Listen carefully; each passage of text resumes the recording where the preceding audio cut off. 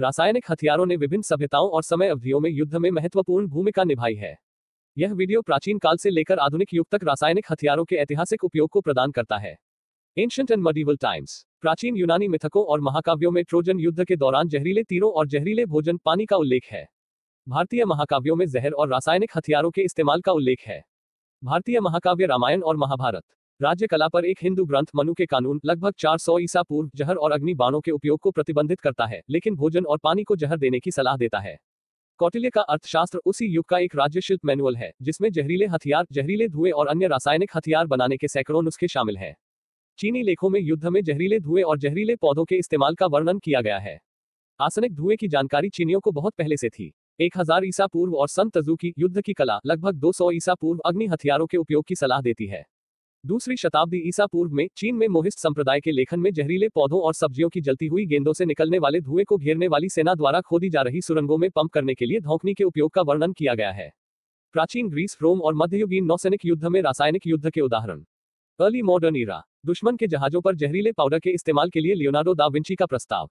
लंबी नाव पर पाउडर के रूप में जहर फेंको। चाक आसनिक के महीन सल्फाइड और पाउडर वडेग्रिस को छोटे मैंगोनेल के माध्यम से दुश्मन के जहाजों के बीच फेंका जा सकता है और वे सभी जो सांस लेते समय पाउडर को अपने फेफड़ों में लेते हैं, उनका दम घुट जाएगा। घेराबंदी में आग लगाने वाले गोले और बदबूदार बर्तनों का उपयोग। समुद्री डाकू कैप्टन थॉमसन द्वारा पाउडर फ्लास्क, ग्रेनेड गोले और बदबूदार बर्तनों का उपयोग। किंग राजवंश द्वारा नौसैनिक अभियानों में बदबूदार बर्तनों का उपयोग। 1812 के युद्ध के दौरान ब्रिटिश नौसेना द्वारा बदबूदार बर्तनों का उपयोग। इंडस्ट्रियल ईरा। क्रीमिया युद्ध के दौरान रासायनिक युद्ध के लिए लियोन प्लेफेयर का प्रस्ताव। अमेरिकी गृहयुद्ध के दौरान क्लोरीन गैस के लिए जॉन डॉटी का प्रस्ताव। ट्रिपल एलायंस के युद्ध के दौरान पैराग्वे द्वारा दम घोटने वाले मिश्रण का उपयोग। अठारह सौ निन्यानवे के एक सम्मेलन में दम घोटने वाले गैस प्रक्षेपियों पर प्रतिबंध लगाया गया। वर्ल्ड वॉर वन, यप्रस की दूसरी लड़ाई के दौरान जर्मनी द्वारा गोले और कंस्तरों में जहरीली गैस का उपयोग। रावलपिंडी प्रयोग के बारे में भी हम यही कह सकते हैं। रावलपिंडी प्रयोग ब्रिटिश भारतीय सेना के 500 से अधिक भारतीय सैनिकों पर पोटन डाउन के ब्रिटिश वैज्ञानिकों द्वारा किए गए प्रयोगों की एक श्रृंखला थी। ये प्रयोग द्वितीय विश्व युद्ध से पहले और उसके दौरान रावलपिंडी में हुए थे। विभिन्न रासायनिक एजेंटों की तैनाती और उनके विनाशकारी प्रभाव, नागरिक हताहत और चेतावनी प्रणालियों की कमी इंटरवर पीरियड रासायनिक हथियारों पर प्रतिबंध लगाने के लिए 1925 में जिनेवा प्रोटोकॉल पर हस्ताक्षर। 1920 में इराकी विद्रोह के दौरान मेसोपोटामिया में ब्रिटिश द्वारा रासायनिक हथियारों के इस्तेमाल का आरोप।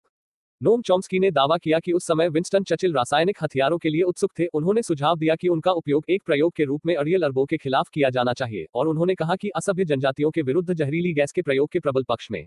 तांबो विद्रोह के दौरान और बासमाची विद्रोहियों के खिलाफ सोवियत संघ द्वारा जहरीली गैस का उपयोग। शिंजियान पर आक्रमण के दौरान सोवियत संघ द्वारा मस्टर्ड गैस का उपयोग। कंक्लूजन्स। युद्ध में रासायनिक हथियारों का एक लंबा इतिहास रहा है, जो प्राचीन काल से चला आ रहा है। उनके उपयोग से बड़ी संख्या में लोग हताहत हुए हैं और नैतिक चिंताएँ बढ़ी हैं। रासायनिक हथियारों के उपयोग पर रोक लगाने के लिए अंतर्राष्ट्रीय प्रयास किए गए हैं। वीडियो अगर अच्छा लगा हो तो लाइक एंड सब्सक्राइब कर देना।